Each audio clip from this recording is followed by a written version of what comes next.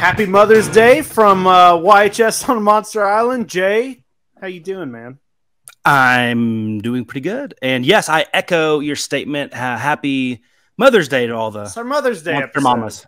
Yeah, it is. You know, it's perfect. It is. It ties in nicely. And this actually was a happy accident. We did not plan it that way. We were like, we didn't plan it. Oh, oh yeah. I figured you planned it. Um, I, I, actually I forget about exactly when Mother's Day is every year, and I was thinking about it. I was like, oh, Mother's Day is coming up. Oh, we're talking yeah. about Gorgo. Jay did this on purpose. I, I, did not, you know, it was more the um it was more all the talk like the Titanic creation stuff last week and everything. It just kind of brought it top of mind. So yeah. um yeah, it's uh but I'm glad we did. Yeah, me too. Uh, I'm excited to talk about Gorgo a little later. Um uh I, am uh spoiler alert, this movie's awesome. Are you do I redeem myself after the I space monster Wangmagwi? Yeah, and you know, I've seen Gorgo a million times, but it's been a while. We, me and you had a conversation about how it's been a long time since we'd both seen mm-hmm. Gorgo, but had good memories of it. And uh, and I was like, as I was putting it on to rewatch, I was like, oh, watch this. God, I hope this doesn't suck. I hope my my memory is not wrong and this doesn't suck. And I, yeah, I think it, I think um, it's a great movie. So yeah, it was uh, it was a fun rewatch. I it, you know I also get very nervous when we watch a movie that we haven't seen in a long time, but we have like good memories of. Yeah. Not even like, you know, oh well, I don't really remember all the stuff about like Gorgo. I feel like I, I have watched it, you know, last month, even though it's probably been 20 years. Yeah. Um, and it is nice when it doesn't, you know, make you uh you know, at the end of it, when you're like, oh, I have to rethink everything I've ever watched over the last three decades. Checking, yeah. checking to yeah. see how long it's got left. yeah. is how I am on some of these movies, but oh, no, it was good. I'm, dude, glad, I'm, I'm, glad we picked it up. Yeah, I'm excited about it. Um, but you know, before we get to that, we're gonna do the usual. We'll do. There's actually some new. We didn't have any news last week, I think, but uh, not a lot. We actually got a little bit of news to talk about. Uh, some pickups. Uh, yeah.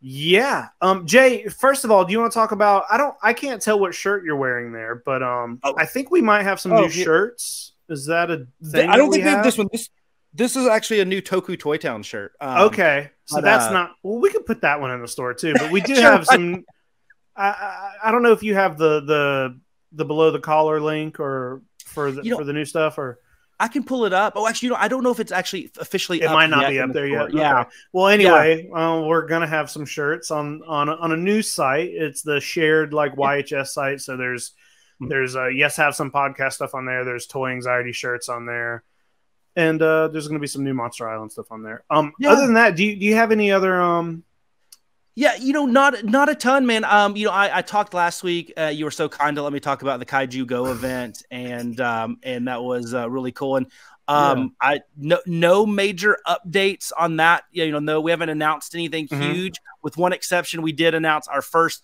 vendor that's going to be part of the cool little bar gallery upstairs. And for those that are big in the indie toy world, um, especially in the Southwest, uh, Chance Priest, uh, Victory Comics or Warriors of the Universe, has signed on to uh, to be there with not only some of his cool, unique designer vinyl and designer toys, his kind of bootleg art toys, folk art, whatever you want to call it. It kind of blurs all the worlds together. He's also going to be bringing some of his vintage kaiju.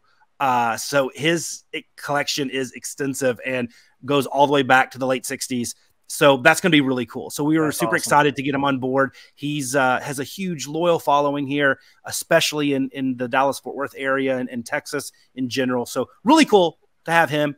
And and then in the next couple of weeks, we'll be announcing more really cool vendors, some artists, uh, and some other things. But uh, it's still kaijugo.com if anybody's interested or in the area and want to, wants to check it out. But we're, we're really pumped. It's, it's you know picking up some momentum here. Yeah, it's going to be good. I'm, I'm excited about that. Uh, I wish I could be there, but uh, yeah, it, it's looking like it's going to be really awesome. Um, yeah. Jay, you, you, I'm looking at our notes here, um, yeah. and I, I want to tell you, I'm, I'm on like three other podcasts, and rundowns is uh, having a rundown is unique to this show for me. Um, we, we don't get that on YHS. Craig does not send us rundowns or notes. Um, we just get we just press record and we go. Uh, so it's nice to yeah. have notes sometimes. But uh, you watch some stuff. I don't I know if you want to talk about some yeah, of the stuff you watched. I didn't watch anything. you because you're on 19 podcasts. I watched Guardians of the Galaxy. I watched Guardians oh, of the Galaxy nice. three, and I haven't uh, seen it yet. No spoilers. No spoilers. Yeah, no spoilers. Uh, I'm trying to think. Of, nothing. I heard it's good. I mean, it's a Marvel movie, but it's good. Yeah. It's good and, for know, a I'm, Marvel movie. They're they're not good anymore.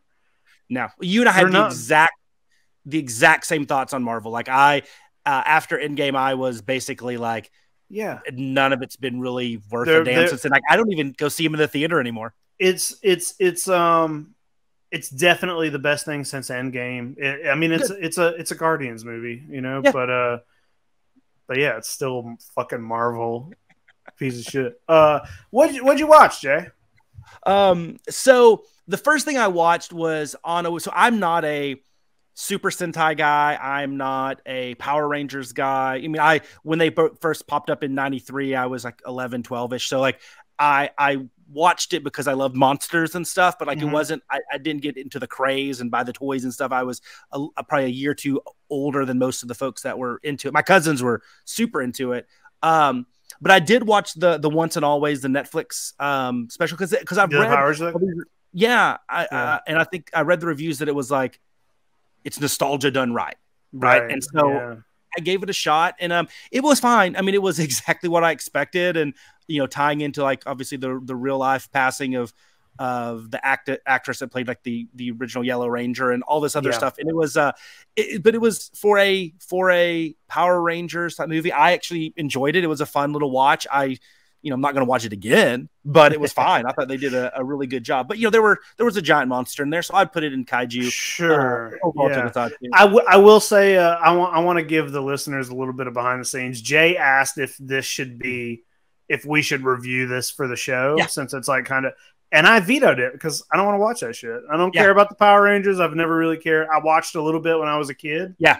Um just not for me though. I was like, nah, yeah. I'm not I don't want to watch that. yeah. And so, but, but what it did though, so I watched that probably like the day after I asked you if you wanted to watch it. I was like, yeah, I, and I really watched it at, at late at night. I just put it on and it's short. And um, mm-hmm. anyway, but it got me thinking like, you know, like I've been putting off watching a lot of the other the the kind of second tier tokusatsu properties, like not Ultraman, not Kamen Rider, not even Sentai, but like, yeah, what about the other guys? The guys that we know the imagery and we know some of the monsters in it, but like, I've never watched Mirror Man and Spectre Man and Fireman and all those. Mm-hmm. Um, and so I just went down like a little rabbit hole and started watching the first episodes of all these kind of second tier tokusatsu films, like uh, or uh, shows, excuse me. Um, I focused really on like the three. I, I, was very curious. I wanted to watch Mirror Man, and I wanted to watch Spectre Man, and I wanted to watch um, uh, Fireman because Fireman had a lot of people that I knew from other tokusatsu shows. Yeah. Um, it had it had the guy. Um, oh, I forgot his name.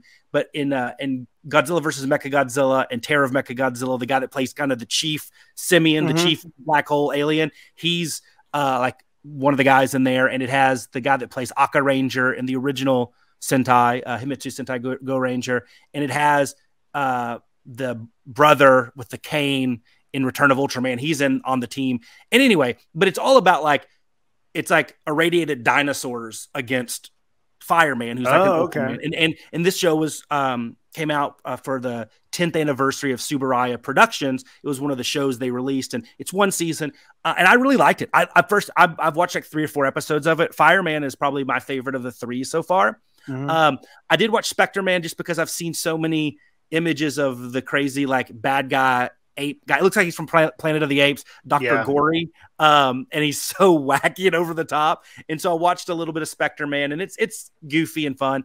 Um, and then Mirror Man, I really liked. I liked it a lot. Um, the actor that played Mirror Man was in one of the was in an Ultra Q episode. I can't remember which one it was, but anyway, um, so I've watched those. Uh, I watched a little bit of Iron King and some other wacky ones that just like on the. I think I own and, Iron King. I think yeah, I own. It, it has the Milk Creeper arrow. Yeah, yeah I think I bought it because I saw it like in Walmart or something. Yeah, like, let me buy this. I need it, but yeah, yeah. it's kind of goofy and, and, fun. But um, uh, I, I've just really enjoyed kind of these more obscure, weird, not obscure to, to the general public, very obscure, but to the tokusatsu crowd, not so much. Um, and so I'm excited to kind of dive a little bit deeper in some of them. Yeah. I think I'm going to continue watching Fireman. That, like I said, that one held my interest the most. Um, but it does tie into the pickups. Uh, these okay. kind of through Tokusatsu and I'll, when I get there. But that's what I've been watching, and I think I'm gonna, you know, I I'm still going back watching some Ultra Q because I'm I am building out my top ten. I'm working on that as we yeah. speak. And big, uh, I have the top ten done. I'm writing scripting that out okay. right now. Um, but uh, it's been kind of fun and just like different, and you know, as opposed to just watching my typical kaiju fair. So yeah, that's exciting. I, I want yeah. I want to check some of those out. I'm I'm excited to see your top ten Ultra Q because it was it's got to be hard. Yeah, I was gonna say it's got to be yeah. hard because so many of those episodes. I know there's not even a ton of episodes mm, to pick from, but yeah, but twenty seven of them are great. Probably, yeah. you know, it's like yeah, it's been a while since I've seen them all, but yeah, so many of them me, are good episodes. The hard thing with Ultra Q for me on the ranking was there's not a lot of separation. Like my number six and number 10 are basically, I like them the same, right? Mm-hmm. Um, also, they're so different because, you know, when when I rank Ultraman, it's Ultraman against insert kaiju.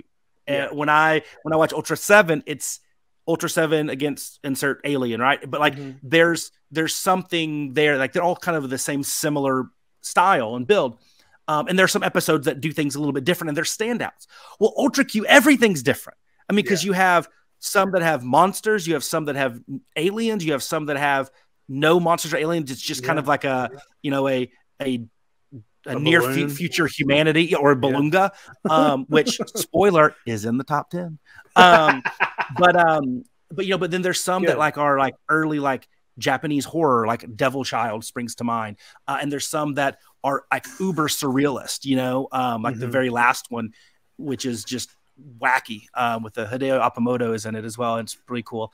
But um, anyway, like there, it's just everyone's so different. It's like, how do I compare these? And then there's some that are general kind of giant monster fair, and then there's some that are you know alien invasion fair. Like it's just very different. Um, and yeah. so and also like it's cool because and I think this is kind of my the thesis of like my ultra Q, like where it fits is like it's so important because it's that linchpin between like older Toho, because you have these all these actors that were important in Toho uh, in the 60s and stuff. They they show up in Ultra Q.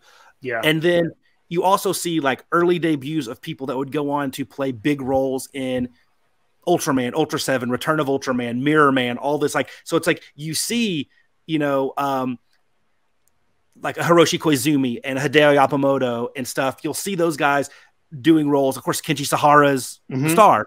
And, yeah. and like you also see like a young, you know, um, uh, what's his name? The the dude that played uh, Shin Hayata, I forgot his name. Uh, Kurobe, I forgot his first name. Anyway, like you'll see him in there, and you'll see Bin Furuya, and you'll see all these guys that will uh, that will be you know huge roles mm-hmm. uh, in Tokusatsu in the next year. Uh, and so it's kind of cool. It's like kind of that middle ground of like this the the end of the road for some of these Toho legends and kind of the start of these Tokusatsu television stars right. that come out from Tsuburaya. So I don't know. I love Ultra Q is great. I just it's one of my favorites. Yeah, it is good. Yeah, and uh, I feel like it's something we talk about a lot on here, even though we've never mm. really done like a dedicated. What's that important? It's so yeah. important, you yeah. know. And uh, it, it was like it's been really fun going back and like re- watching some of these. I've watched some of these episodes two or three times in the last month, you know, because yeah. as I kind of like is this one really better than that one? And of course, you have to watch them side, back to back. To, yeah. I know, right? And you have those wacky, you know, the really wacky episodes with like um the grow up turtle, uh, yeah. and uh, and Kanegon's cocoon. Obviously, those two are always known as like, what did I just watch? You know, what the hell? Um, but it's uh, it's great. It's a great show. Yeah, um, I'm excited about that, Jay. Uh, Let's see. Uh, I, I, before we, you know, before we go on to what we bought, just because it's on yeah. my mind, talking about watching that stuff, and uh, yeah. I just want to say, I, I watched, I rewatched Gorgo on Tubi. Okay. Um, and I, I own it, but I was like, this is just it's on streaming. I don't have to set anything up. I have to walk all the way over it's to my free on streaming. yeah, I don't want to do this. But I realized that Tubi has a huge amount of monster yeah. movies and kaiju movies, and it's got a bunch of Godzilla stuff. It's got mm-hmm. a bunch of Gamera, um, a bunch of like American, a lot of mm-hmm. Harryhausen stuff. You know, like Jack awesome. the Giant Killer, like just tons. And I was just scrolling through, like Reptilicus is on there, and nice. I'm just like scrolling. I was like, holy fuck, Tubi is stacked with kaiju. And I just think that's awesome. So anybody who wants to watch some free monster movies, Tubi has got a lot. and and then you couple that with Pluto, which has all which ties into the sh- or the Shout app for Shout Factory. Yeah, because well, you have Pluto Shout and you have all the Ultraman stuff and Kamen Rider. And Pluto doesn't Pluto have the channel where it's just like there's like a 24 hour channel of basically Ultraman stuff, and it just it's yeah. showing whatever you can't really choose, but it's just sh- constantly showing. Yeah, Ultraman mainly, but yeah. That's it's yeah, it's, it's it's because of their it's their tie in with like with the Shout Factory and Toka Shout, so it's kind of their their branded channel that yeah. I believe that floods into there. Um, but yeah, so like between Tubi and Pluto, you have your kind of overarching tokusatsu genre covered. Yeah, yeah, yeah. There's no excuse. No. And, and then some of the obscure stuff, you know, it's going to be on YouTube or it's going to be on like the the Internet Movie Archive or one of those. Like you you can find it. I promise. It's just usually usually usually sites like Tubi. You're like, yeah, it's all free, but it's usually junk. You know, usually yeah. you're not finding movies you really want to watch on Tubi, but there is a lot of good. Yeah. So yeah, 100. percent